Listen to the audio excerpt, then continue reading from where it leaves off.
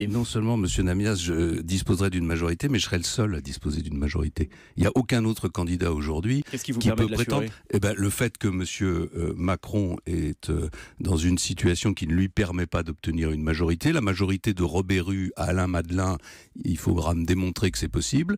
Euh, et quand quant à Madame Le Pen, chacun voit bien qu'elle ne peut pas avoir de majorité au Parlement. Donc oui, je suis aujourd'hui le seul candidat qui peut avoir une majorité parce que cette majorité, c'est celle qui représente les valeurs de la droite et du centre qui existent dans notre pays et qui correspondent à un Mais- socle de français euh, qui, à mon sens, est d'ailleurs majoritaire.